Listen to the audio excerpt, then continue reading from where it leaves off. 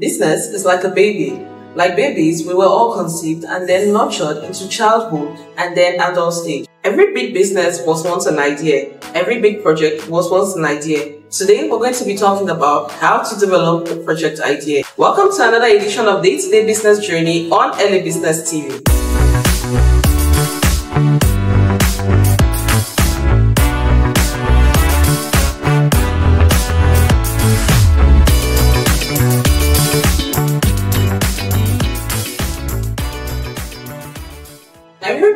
Idea stems from idea generation.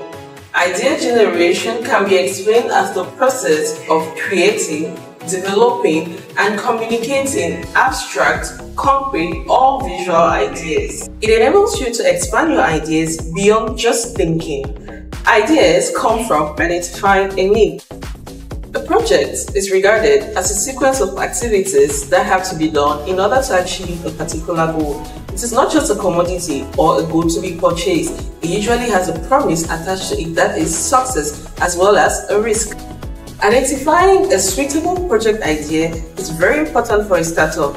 It is important to identify this or to do your business at the right time and at the right place. It is also important to know if your project is promising and if it's feasible.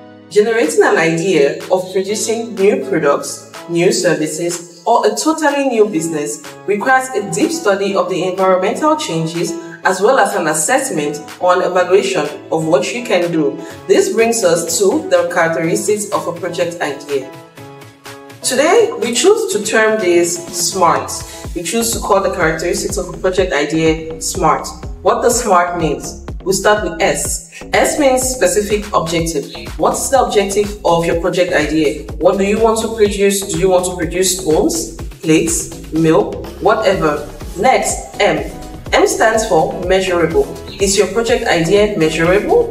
The next letter is A. A stands for achievable or attainable. Have you been able to evaluate if your project idea is attainable? Now we'll go to the letter R. R stands for realistic. Is your project realistic or is it just a visual idea or is it just something abstract that you have in mind? You need to know if your project is realistic. Next, T. T stands for time bounded. You need to know how long your project is going to take for you to start up or to set up. Ideas come from different sources. They may be finding gaps in issues, copying or improving existing ideas, hobbies, daydreams, building skills, or even finding new ways to do things. There are so many places where you could get ideas from.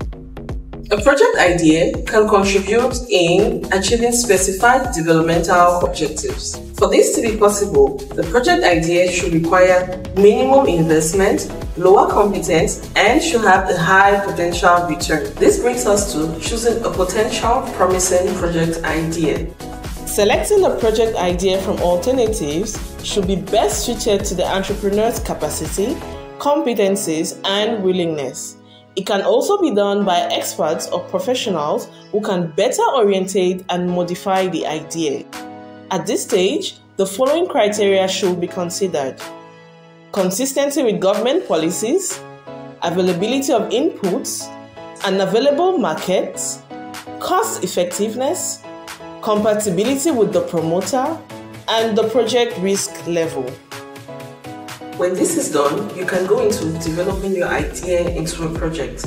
The first thing you do is you get a paper, you write down the name of your project. If you do not have a name, you can call it My Project.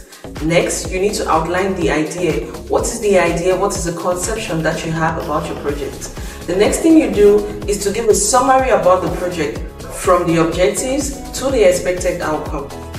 Clearly define your project. One, you need to estimate the duration.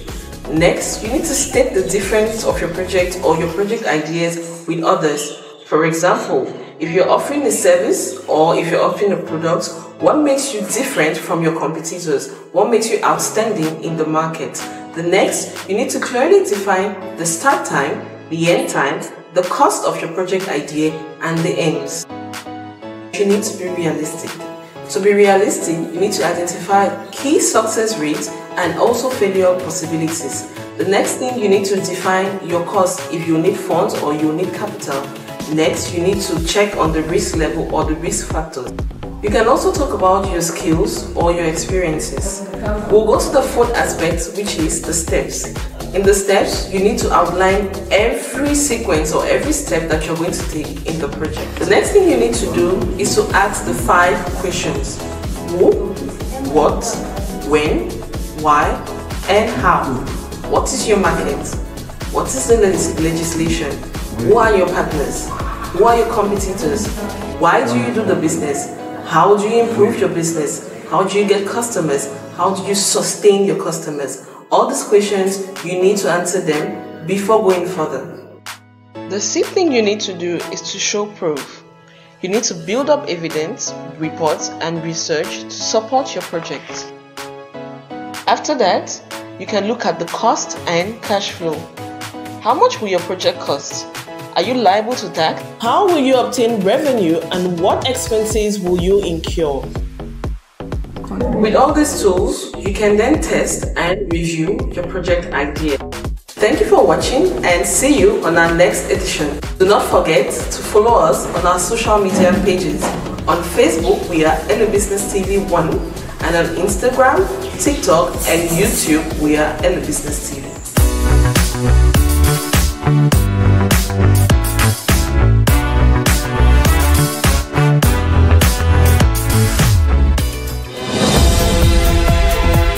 We expose African businesses to the world and bring world business opportunities to Africa.